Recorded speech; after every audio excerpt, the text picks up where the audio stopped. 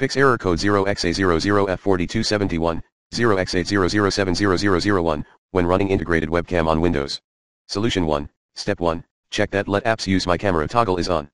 Step 2, assure your Windows is current. Step 3, uninstall current webcam driver using the recommended uninstall tool pro in this video guide, and reinstall the generic class driver from Windows using the official installation CD or installer. Solution 2,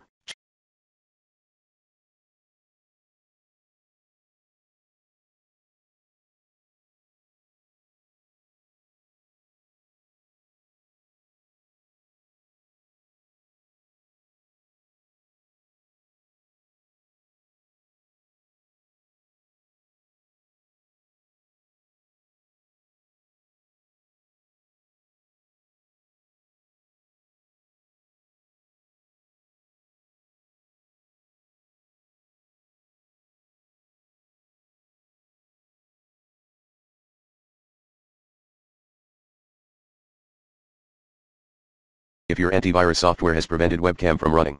We just take reviewing ESET as an example here. Solution 3, check if you are using an outdated webcam driver. If so, try updating reboot when ready.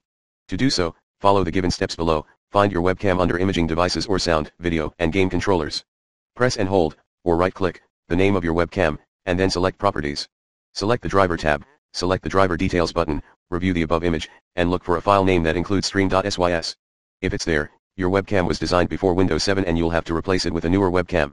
Note 1, if you don't find a file name that includes stream.sys, try rolling back your webcam driver. When the rollback is complete, it is highly suggested that you reboot the system.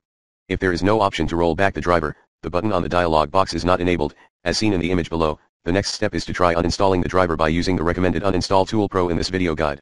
Note 2, if you tried the rollback workaround and that did not work, or you don't have the rollback driver option available, then you can attempt to uninstall the driver.